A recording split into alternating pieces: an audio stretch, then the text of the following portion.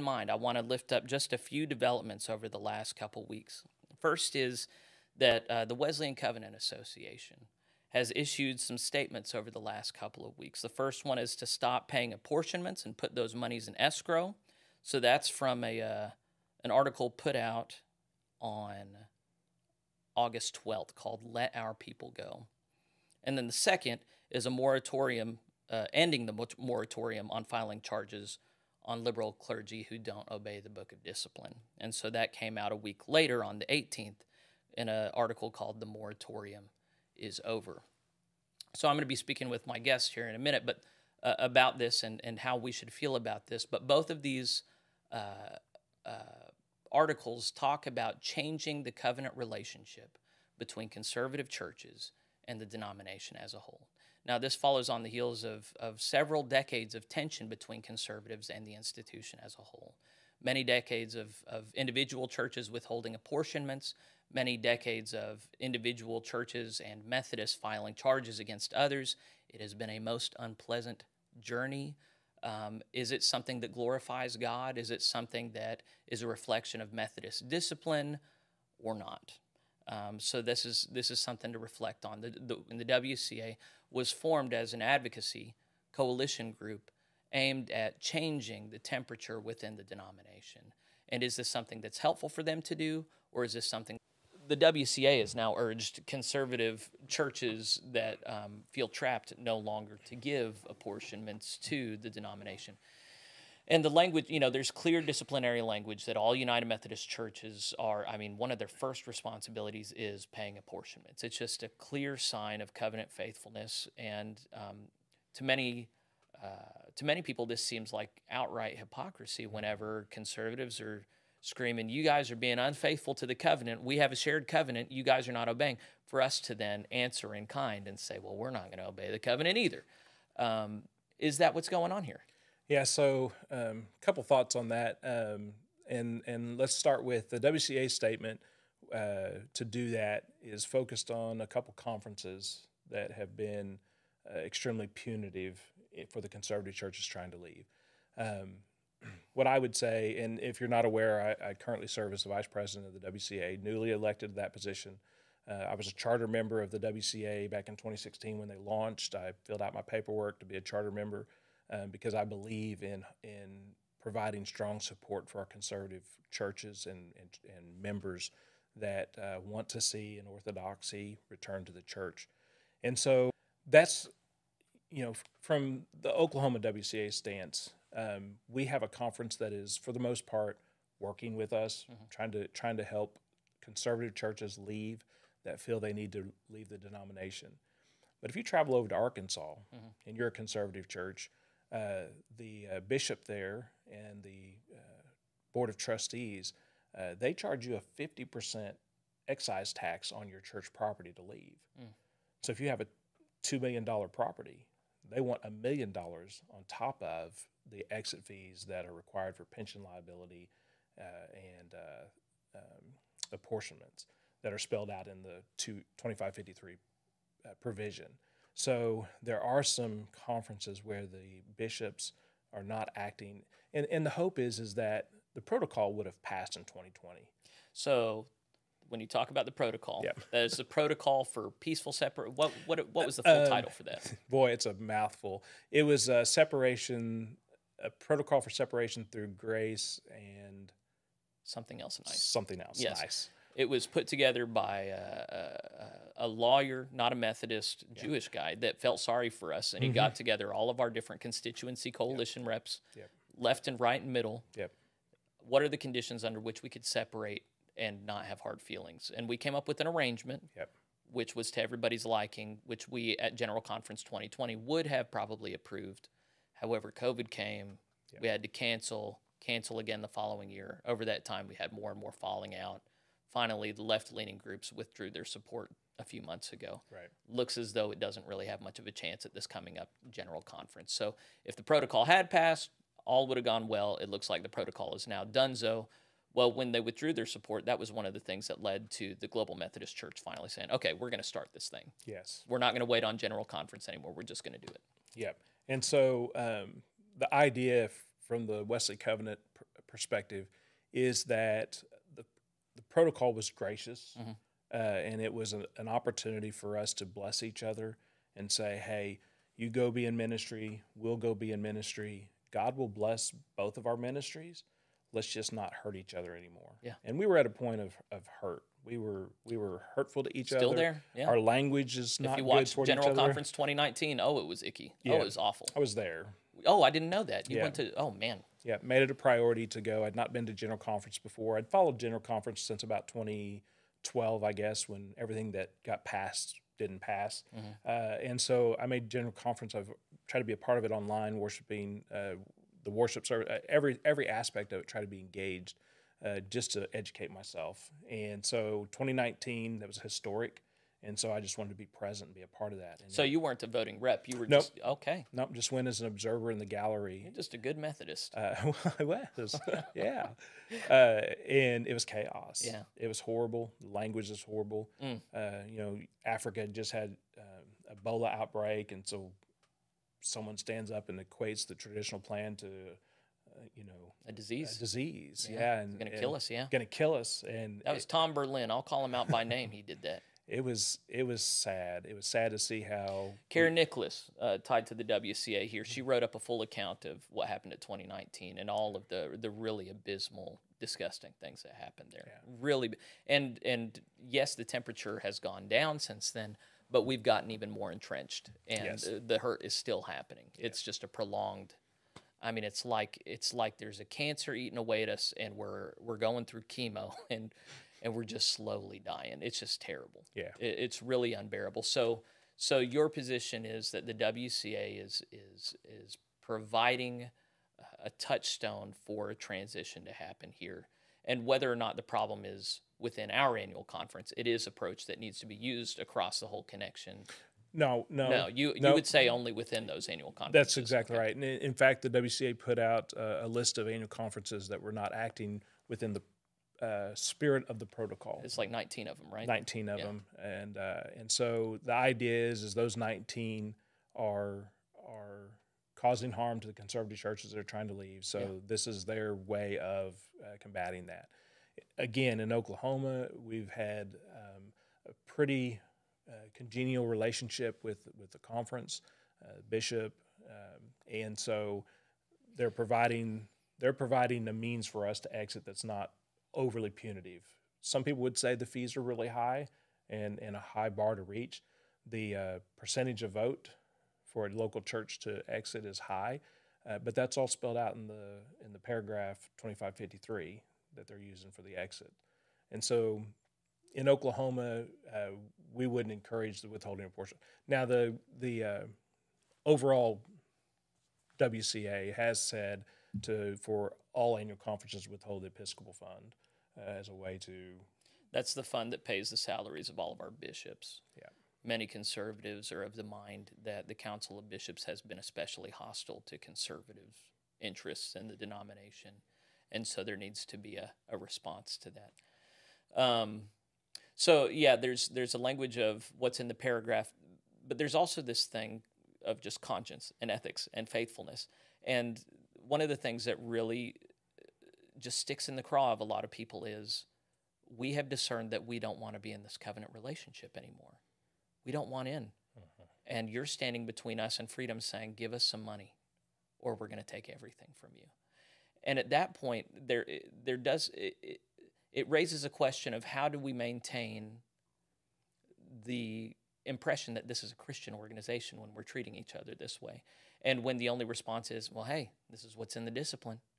You know, when we're hiding behind a legalistic approach to language that we created, you would expect that, that people of, of conscience and love would say, I know what's in the book of discipline, but I'm not going to stand between you and your freedom. I'm not going to take that money that was put in the offering plate for mission in your local church and throw it at a, a, a, a denom- or at a at an annual conference that is going to hurt you if you you don't that Yeah. something about that just really feels icky and a lot of people in the pews you know the clergy we've just learned to deal with it we've just learned this is It's- normal this is what nature, we do yeah. but a lot of people in the pews they hear about it and they go how is this right right.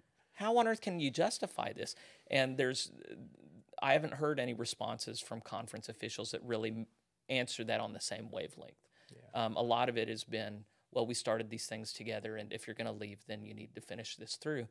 And there's not an acknowledgement of you've actually been funding this for decades. you, know? you have been doing that, and because you've been faithful, we're going to say goodbye now.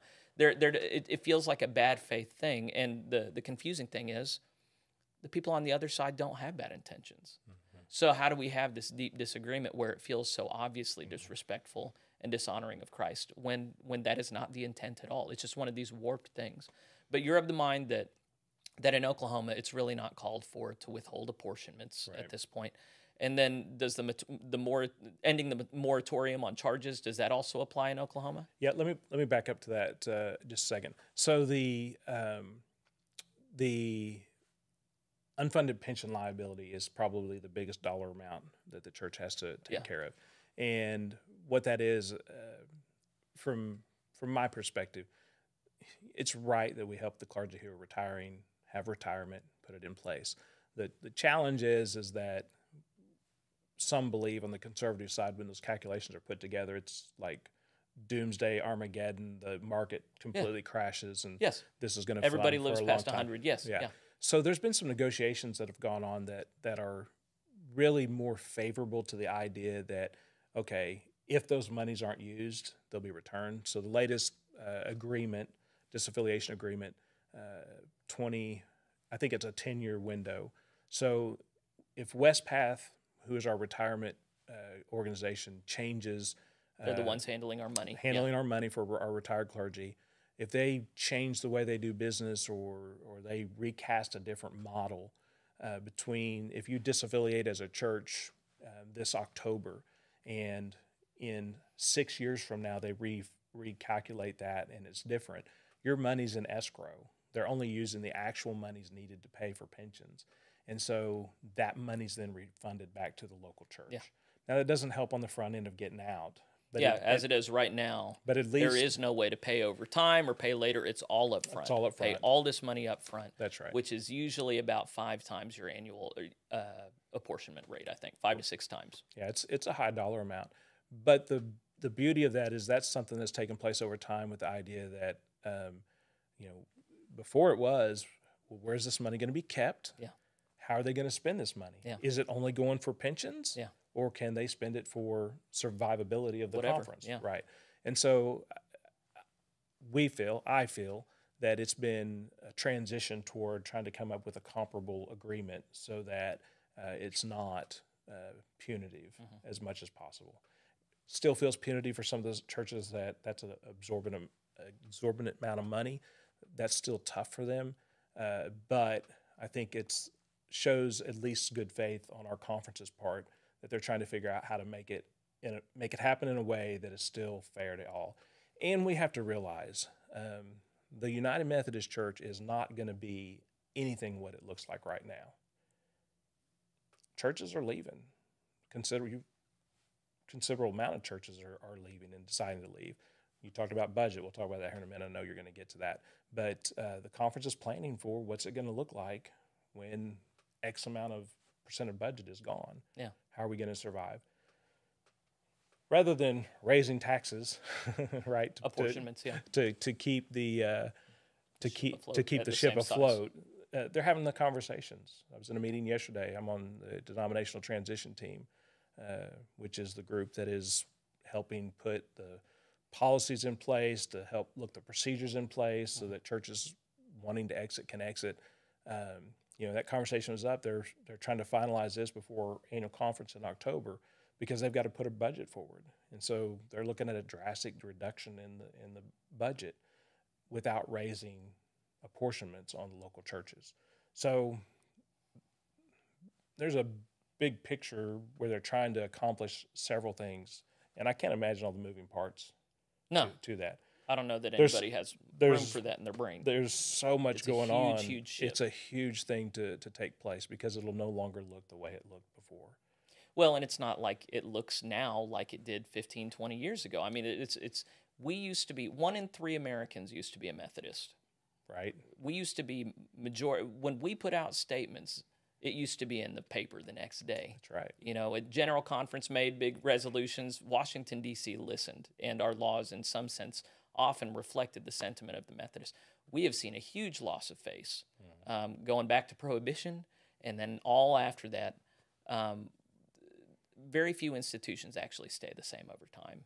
And for some reason, we feel entitled to that, but we shouldn't. Right. Um, so there, there has to be an openness to uh, death and new life. There also has to be an openness to, and I don't hear liberals or conservatives saying this. I wish I heard, I would hear more people say. I guess it sounds defeatist, but I need more people to say, God might not be with us. Um, I know that I feel I have a calling. I know that I feel I'm on God's side, but the fruit does not seem to be here. Right. Is is it at all possible that we have jettisoned something essential? Is it all po- at all possible that we have majored in the minors, or that we have uh, not held up the standard in the banner? So anyway, you can tell where my sentiments are. Let's hit the moratorium. You're of the mind that that apportionments need to continue to be paid in conferences where the conference leadership has seemed to be generally amenable to to helping churches get out under 2553 without too big a, a hurdle with the moratorium, the moratorium was pronounced with the the the protocol. While we have this this peaceful separation in mind, let's you know we. Yes, we have a, a lesbian bishop that the Judicial Council said should not be in place. Yes, we have entire jurisdictions and annual conferences who've said they're not going to obey the discipline. Yes, we have many clergy within almost every annual conference who have refused to abide by the strictures of sexual morality spelled out there, and who often also preach things inimical to classical Christian doctrine in, in, a, in a number of other ways. Yes, we have all that. Don't talk about it. Don't press charges. Don't insist on the purity of the body or in uh, common shared discipline. That's now over, according to the WCA. Now, game on. If you guys want to play hardball, we're going to call out a spade. We're going to talk about heresy where it's preached. We're going to talk about sexual immorality where it's practiced is that a different thing from the apportionments, or is that also uh, something that accountability should that only be practiced in conferences where they're making it hard for conservatives to get out? I would say the moratorium should have never been put in place. Right? The reason we're in the shape we're in is because we've absolutely ignored the rules that we have put in place. So why continue down a destructive path? Church after church that I've served, I've walked in the door and I just hear person after person who's left this church mm-hmm. because we don't follow the, the, the, discipline that we've set out for our churches. So I would say um, the moratorium uh, it should should not be in effect. Why why would why would we allow um, why would we if if we're not going to allow for this graceful way for us to go our separate paths? Why would we not adhere to the rules that we have set before us? Follow the rules, and those are the rules. So if they want to change those in 2024, they can change those in 2024. But in 2019, and I get sick of the, well, it was just a small majority. I don't care if it was a small majority. When you look at like any voting system, any two party voting system, that's actually a big majority. Right. When, when you look at the U.S. Senate, when you look at, at it's actually a, a sizable margin. Yeah. Even so, at 2019, they not only maintained the standards that we had, but actually made them firmer.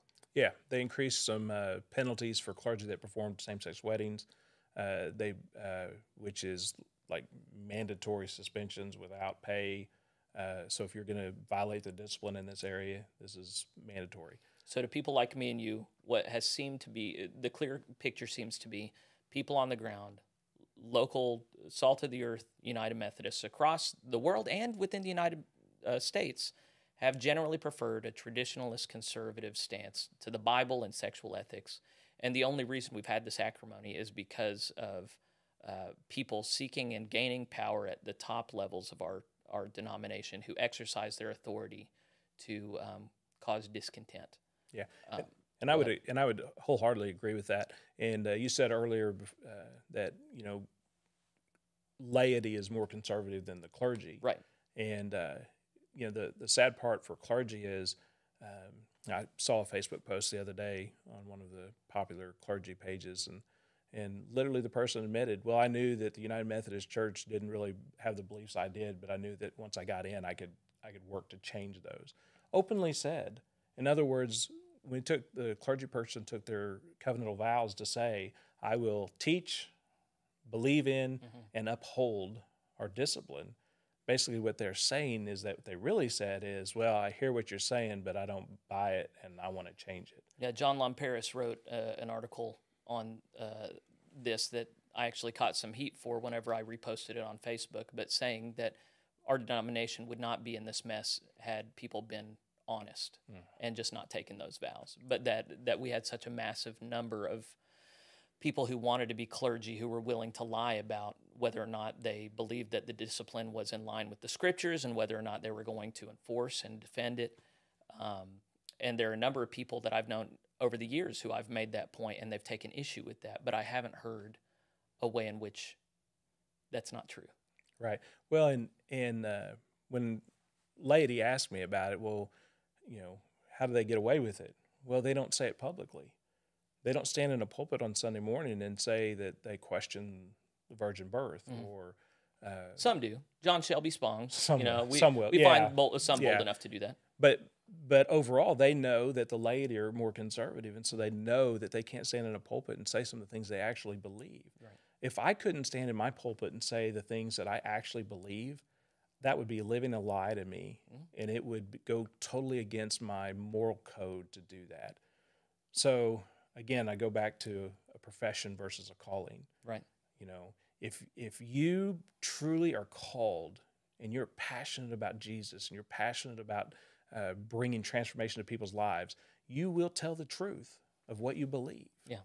if you have to hide what you believe then there's something else there and so that's what happens is these clergy serve in churches and they they're they won't tell it to the laity because the laity will run them out of the church Yeah.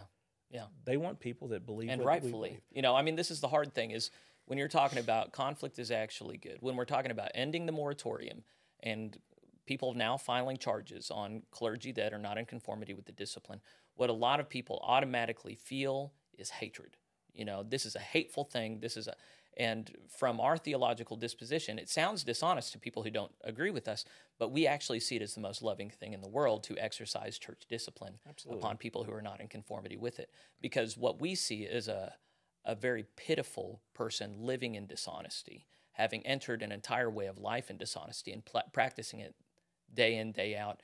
And the way that that must warp them on the inside to be this um, divisive divisive subversive character in an organization that has made room for them is evil mm-hmm. we would see. And that's pretty strong language but in that case the most loving thing to do is to shine a light on that dark place. Now it's not going to be received that way. It's not going to be felt that way. Might not even look that way to most eyes but people like you and i would genuinely believe jesus sees it that way. Well, it's it's if you have kids, you've ever had kids, or you've been around people that have kids, or you've you've supervised kids. When the kid reaches for the hot stove, the loving thing to do is grab the kid mm-hmm. and pull him back. Don't touch that. Yeah. That that'll hurt. The the loving thing Well, change the metaphor. Not even just for a child. Pretend you have a friend over and he's about to lean over on the stove. Don't do that. He's an equal with you. You know, uh, when we're looking at other clergy, we're not saying, "Oh, these poor children." Oh, yeah, we're yeah, going, Uh, "These people are equal to me." Right. Or even a higher ranking. I still don't desire that they would burn. You know. but but from God's perspective, us us as his children, I understand now. Yes. you know, God doesn't want bad for us. No.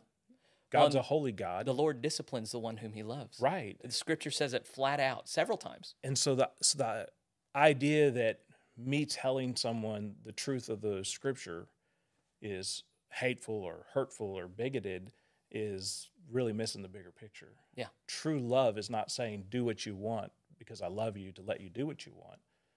True love is saying, "Hey, this is what you're doing, but this is what scripture says and I just want you to know that." Mm-hmm. Now, you can still go do that Yeah. You're you got free the to free, do it. You got the free choice, the free will to do that, but you need to know really what Scripture says about that Yes. and how that plays out. To me, that's love, and so I think we have a competing uh, definition of love, Absolutely. and Absolutely. because and we live in a relative society.